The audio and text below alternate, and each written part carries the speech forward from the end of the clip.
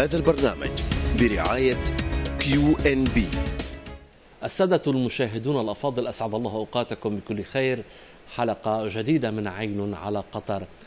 الناتج المحلي الإجمالي لدولة قطر ينخفض بنحو 20% بالأسعار الجارية وينمو ب 4% بالأسعار الثابتة. وصندوق النقد العربي يتوقع نموا في الاقتصاد القطري عند 3.2% في العام 2016 واردات قطر من السيارات تنخفض 9% بنهاية فبراير وعدد سكان قطر ينخفض بنحو 19 ألف نسمة بنهاية مارس الماضي. أرباح QNB تقفز بأكثر من 7% إلى مليارين و900 مليون ريال قطري. السلام العالمية تستثمر 400 مليون ريال قطري في قطاع التجزئة هذا العام. ومجموعة إزدان القابضة تصدر صكوك بقيمة ملياري دولار وتتوسع باتجاه أمريكا. وأوروبا وأفريقيا. المشوار ابتدأ أهلا ومرحبا بكم. انخفض الناتج المحلي الإجمالي لدولة قطر بالأسعار الجارية بنسبة 20% إلى 174 مليار ريال في الربع الأخير من العام 2015 مقارنة بالفترة المماثلة من العام 2014 بينما نمى الناتج المحلي بالأسعار الثابتة بنسبة 4% إلى أكثر من 200 مليار ريال مقارنة بالربع الرابع من العام 2014 هذا وانخفضت تقديرات الناتج المحلي الإسمي لقطاع التعدين والمحاجر بنسبة 44.5% إلى 47 مليار و700 مليون ريال في الربع الأخير من العام 2015 بفعل تراجع أسعار النفط والغاز. حصلت مجموعة QNB على موافقة مصرف قطر المركزي والسلطات التركية لإتمام عملية الاستحواذ على فاينانس بنك بقيمة ثلاثة مليارات وثمانين مليون دولار. ويعتبر فاينانس بنك خامس أكبر بنك في تركيا ويملك 650 فرعا وقاعدة عملاء تزيد عن خمسة ملايين وثلاثمائة ألف عميل. انخفضت واردات قطر من سيارات النقل خلال شهر فبراير بنسبة 9% مقارنة بشهر يناير الذي سبقه. وبلغت فاتورة السيارات المستوردة نحو 800 مليون ريال مقارنة ب 886 مليون ريال في يناير 2016 بينما بلغت الفاتورة الإجمالية في العام 2015 أكثر من 11 مليار ريال.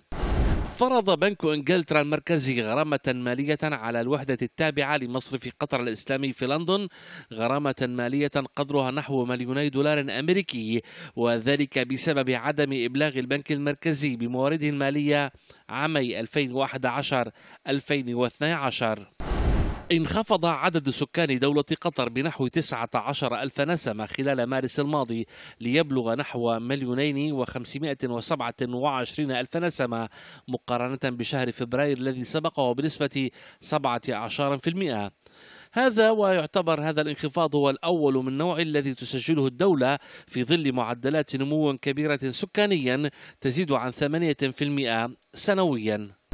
استحوذت شركة كتارا للضيافة الذراع الاستثماري لصندوق الثروة السيادي على 30 فندقا خلال العامين الماضيين. هذا ويبلغ عدد الغرف الفندقية التي تمتلكها كتارا للضيافة 7172 غرفة. تتوزع بين 3342 غرفة في قطر و 3830 غرفة عالميا. بشكل فاق التوقعات مجموعة QNB المالية تفصح عن بياناتها المالية للربع الأول هذا العام. نسبة نمو بأكثر من 7% مليارين و900 مليون ريال قطري. نسبة نمو في الموجودات تفوق ال 550 مليار ريال قطري. كذلك أيضا محفظة القروض تناهز ال 400 مليون ريال قطري. وكذلك أيضا الديون المتعثرة تنخفض إلى 1.4% فقط. مجموعة QNB المصرفية تفتتح موسم إعلان البيانات المالية للشركات المدرجة في بورصة قطر للربع الأول من العام 2016 بأرباح فاقت التوقعات وقاربت المليارين وتسعمائة مليون ريال وبنسبة نمو ناهزت 7% عن الربع المماثل من العام 2015 ارتفاع الإيرادات التشغيلية إلى أربعة مليارات ومائة مليون ريال وصافي إيرادات الفوائد إلى ثلاثة مليارات وثلاثمائة مليون ريال. فضلا عن المحافظة على نسبة كفاءة المصاريف إلى الإيرادات عند 22.5% ساهمت بمجملها في زيادة الربحية وارتقاء موجودات البنك بنسبة 10% إلى 550 مليار ريال. وذلك من خلال النمو الكبير في محفظة القروض والسلف بنسبة 16.5% لتصل إلى 400 ومليار ريال قطري. وحافظ QNB على معدل القروض غير العاملة عند مستوى 1.14% وتم تغطيتها بمخصصات ناهزت 120% بموازاة ذلك ارتفعت ودائع العملاء بنسبة 10% لتصل إلى 403 مليارات ريال ما قلص من نسبة القروض إلى الودائع إلى مستوى 100% تقريبا. هذا وارتفع إجمالي حقوق المساهمين بنسبة 11% ليصل إلى 60 مليار ريال كما بلغ العائد على السهم 3 ريالات و40 درهم وقد بلغت نسبة كفاية رأس المال ما نسبته 15.8% هذا وقد تأثر نمو البنك بفعل الانخفاض الكبير في قيمة العملة المصرية ما أدى إلى انخفاض إجمالي الموجودات بمبلغ سبعة مليارات ريال قطري والودائع بخمسة مليارات ريال قطري. يعتبر القطاع المصرفي في قطر هو آه، صمام الأمان وهو العمود الفقري للاقتصاد القطري. آه، نسبة نمو في حجم الاستثمارات آه، في هذا القطاع المحلية عند 132 مليار ريال قطري. حجم الاستثمارات الخارجية للبنوك المحلية تقريبا عند 50 مليار ريال قطري. البنوك الإسلامية في العام 2015 استطاعت أن تسجل معدلات نمو إيجابية تقريبا 24 في المئة خاصة من طرف مصرف قطر الإسلامي وكذلك أيضا مصرف الريان استثمارات البنوك المحلية في قطر تناهز 132 مليار ريال بنهاية فبراير الماضي. منها 48 مليار ريال للبنوك الإسلامية وفقا للبيانات المالية المجمعة لدى مصرف قطر المركزي. في حين حازت البنوك التقليدية على إجمالي 81 مليارا و600 مليون ريال ومليارين و200 مليون ريال للبنوك المتخصصة. القطاع المصرفي في قطر حقق نتائج أعمال الفترة الماضية جيدة مقارنة بال بالقطاع المصرفي في الدول الأخرى. آه، شاهدنا نمو ملحوظ في نتائج الأعمال على مغلب آه، الشركات الموجودة بهذا القطاع. آه، شاهدنا نشاط ونمو خاصة على المصارف الإسلامية. حققت نمو العام الماضي بمعدل 24% مقارنة بالعام الذي سبقه.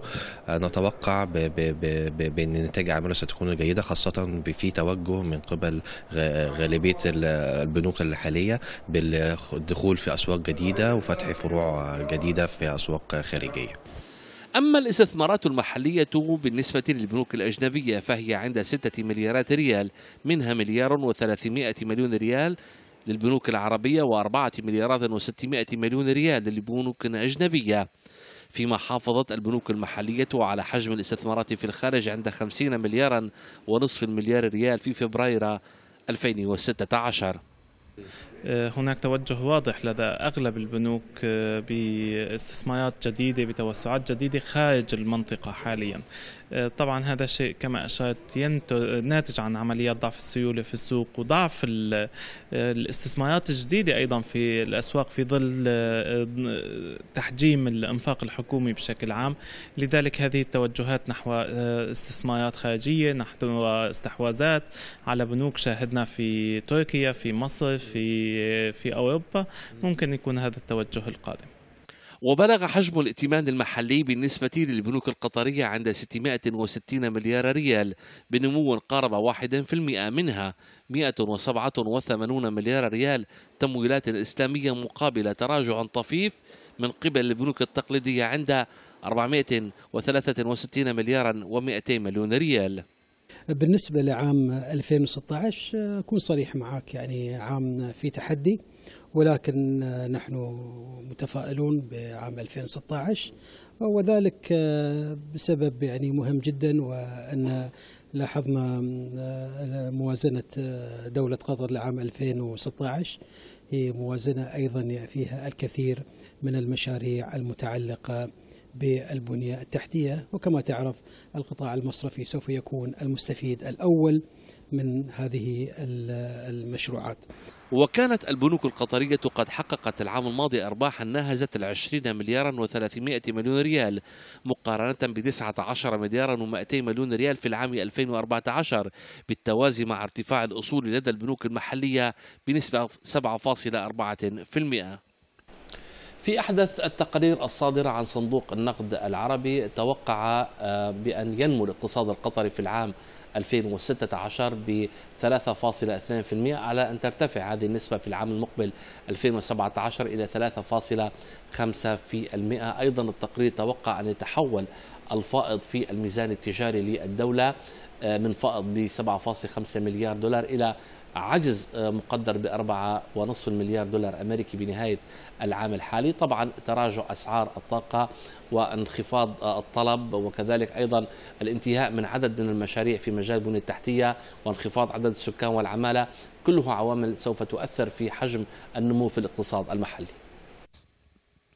الاقتصاد القطري سينمو بنسبة 23% العام الحالي بحسب توقعات صندوق النقد العربي و3.5% العام 2017 نمو مدعوم بتعافي أسعار النفط والغاز ووصول الإنتاج في حقل برزان للطاقة الإنتاجية القصوى ودخول مصفاة رأس لفان اثنان مرحلة الإنتاج نهاية العام الحالي. القطاع غير النفطي سيواصل تباطؤه في العام 2017 بحسب النقد العربي وذلك مع وصول الإنفاق على مشروعات البنية الأساسية لحدوده العليا واستقرار النمو في قطاع التشييد والبناء واستمرار تراجع تدفق العمالة الوافدة إلى الدولة الخليجية. الفائض في الميزان التجاري القطري سيتراجع في العام 2016 إلى نحو 34 مليار دولار بما يمثل 17.7% من الناتج المحلي الإجمالي. وذلك بسبب تراجع مستويات أسعار النفط العالمية ما يعني تراجع الصادرات السلعية إلى نحو 66 مليار دولار. في حين يتوقع الصندوق ارتفاع الواردات بنسبة 6.7% لتسجل نحو 32 مليار دولار. ومن المتوقع أن يتراجع عجز ميزان الخدمات والدخل ليصل إلى نحو 21 مليار دولار. وكذلك العجز في صافي التحويلات إلى 17 مليارا ونصف مليار دولار مع زيادة عدد العمالة الوافدة في العام 2016 وعليه فمن المتوقع أن يتحول الفائض في الميزان الجاري من نحو سبعة مليارات ونصف مليار دولار في العام 2015 إلى عز قدره أربعة مليارات ونصف مليار دولار في العام 2016 ما يمثل نحو 2.3% من الناتج المحلي الإجمالي القطري. أعزائي المشاهدين ما زلنا معكم في هذه الحلقة من عين على قطر في قسمها الثاني سوف نكون بوقفة تفصيلية مع أهم الجمعيات العمومية التي عقدت في قطر هذا الأسبوع. لا تبتعدوا كثيرا ابقوا معنا.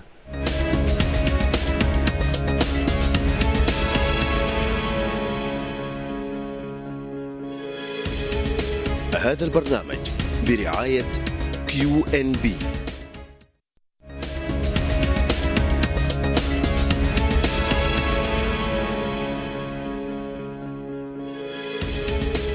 هذا البرنامج برعاية Q NB مرحبا بكم من جديد أعزائي المشاهدين ومتابعة للقسم الثاني من حلقة عين على قطر.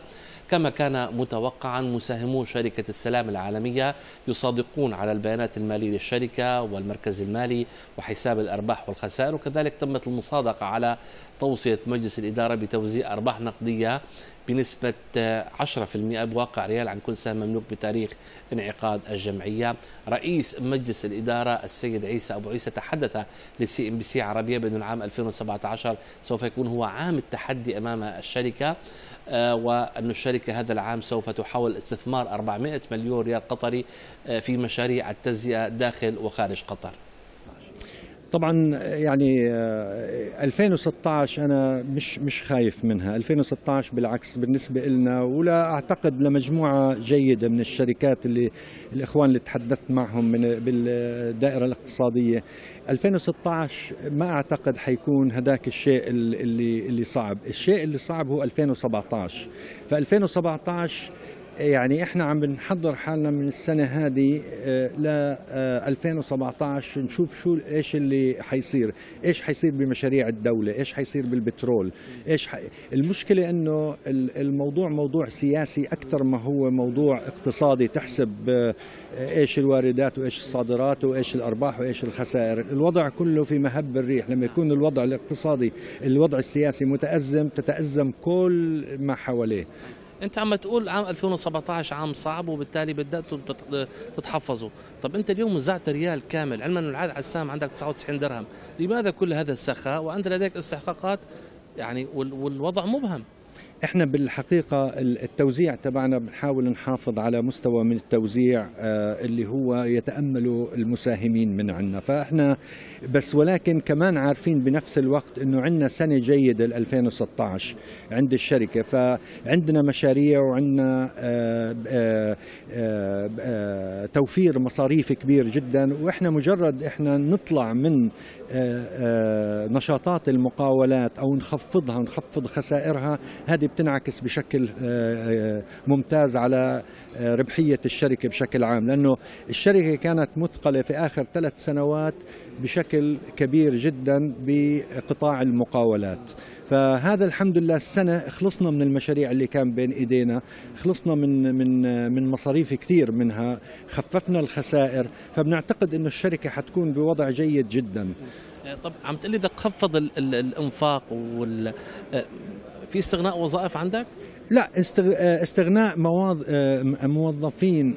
إحنا باستمرار على فكرة. في عندنا مراجعة باستمرار على ال ال على كل مصاريفنا منها الموظفين فأول بأول بنحاول إنه نخفف مصاريفنا ونضغطها ونشتغل حسب ما يحتاجه العمل بشكل آه، كبير. هلا المصاريف الثانية زي ما حكيت لك الاستغناء هو حيصير على الشركات اللي إحنا بدنا نقلصها مش الشركات العاملة وهي شركة أو شركتين فقط مش أكثر من هيك.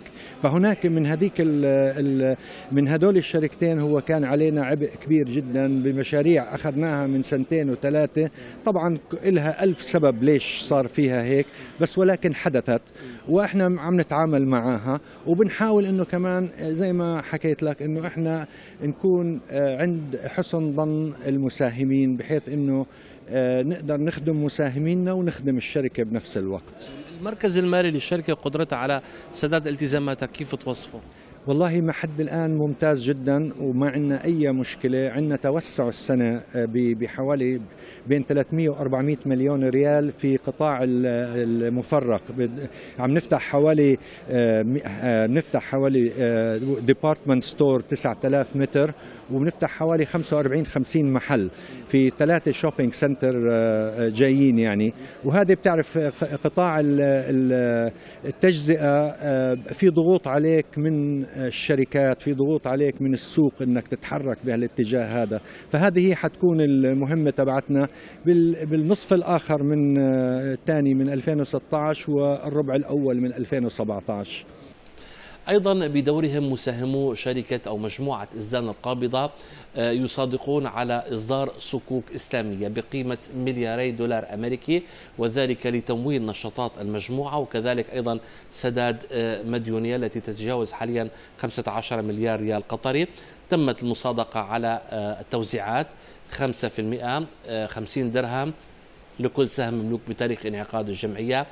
السيد آه، علي العبيدي وهو رئيس تنفيذي للمجموعة تحدث ل CNBC عربية عن توسعات للشركة خاصة آه، في النصف الثاني من هذا العام باتجاه أوروبا أمريكا وكذلك أيضا أفريقيا. آه، طبعا اليوم بشكل مختلف. اليوم هي عبارة عن صكوك وليس اقتراض مباشر وهذا بالحقيقة يعطي credit لمجموعة ازدان القابضة لأنها راح تدخل الأسواق الدولية وهذا حقيقة نقلة نوعية وأيضا فيها توسيع لقاعدة الاقتراض للمجموعة آه، طبعا القروض لن تستهلك مرة واحدة هناك 2 مليار دولار أعتقد راح تبرمج ما بين 18 إلى 24 شهر حسب الاحتياج. آه، الهدف الأساسي من هذه القروض هي توسعة المجموعة وتشييد آه، العديد من المشاريع المستقبلية والحالية للمجموعة. وقد نرى بالمستقبل إذا كان آه، تكلفة آه، هذه الصكوك مقبولة يمكن أن تسدد من خلالها التزامات قائمة على المجموعة إذا كانت مكلفة.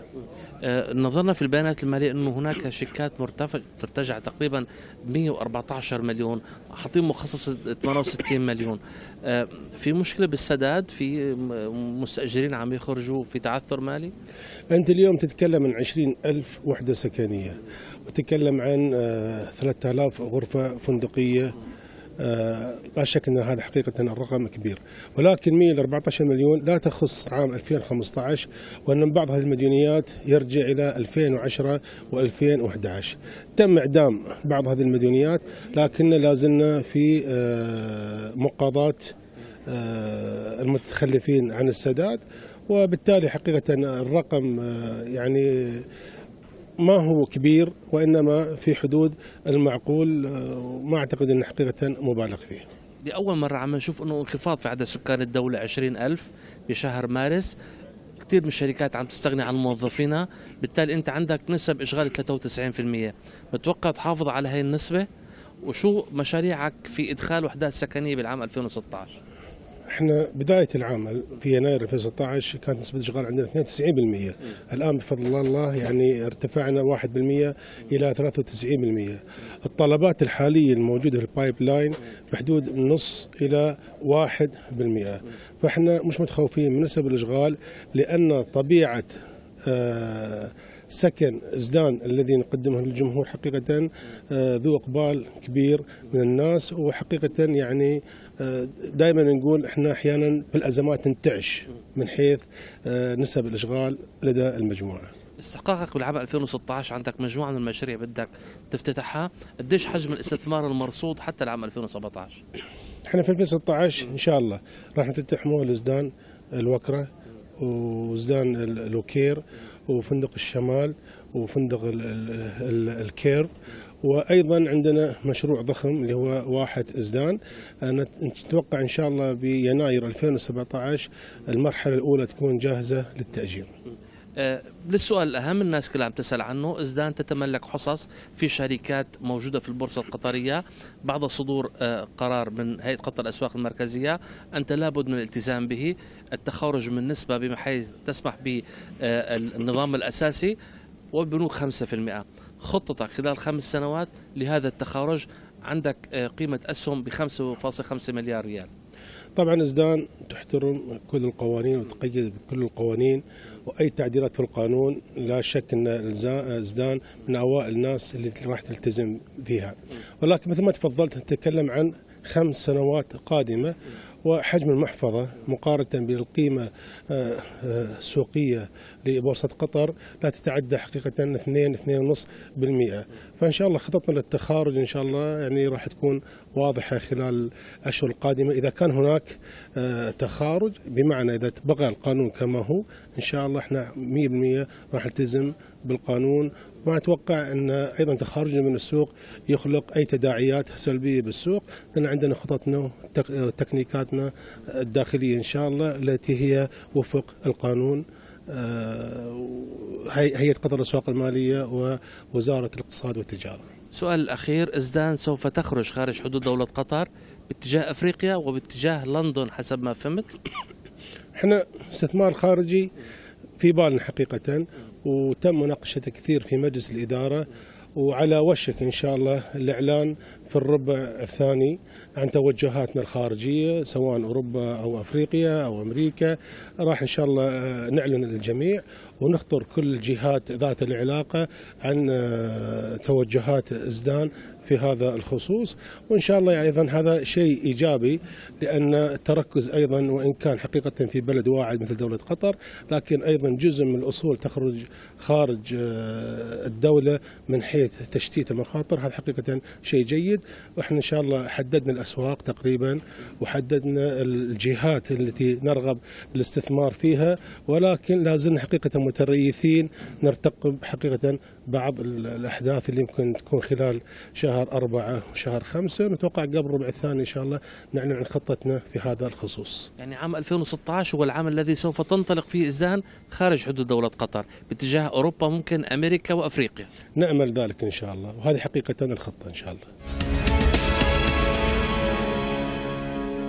وبهذا اللقاء أعزائي المشاهدين تكون حلقة عين على قطر قد وصلت إلى آخر محطاتها. في الأسبوع المقبل نلتقي إلى اللقاء.